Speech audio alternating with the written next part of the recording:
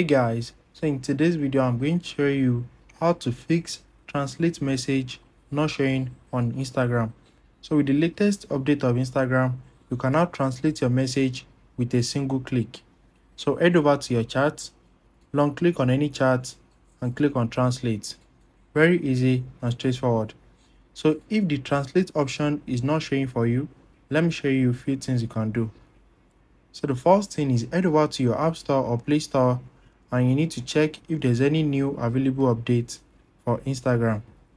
So if there's a new update, update the app and need to see if that's going to fix the issue.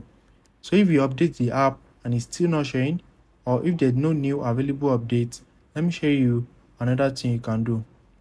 So head over to your settings and you need to scroll down and click on general. After that, click on iPhone storage. So there is no option like this on Android device. So if you are using Android, delete your Instagram app and re-download it. But on iPhone, just scroll down right here and click on Instagram. So you need to offload the application and once you are done offloading it, click on reinstall. So you are not going to lose any document or any data on Instagram. All your information will still be intact. If it's still not showing after doing all this, you have to wait for Instagram to add it to your account. So when there's a new feature on Instagram, they are going to be distributing it to people one after the other. So not everyone will get it at once. You can just wait for a few more days or weeks.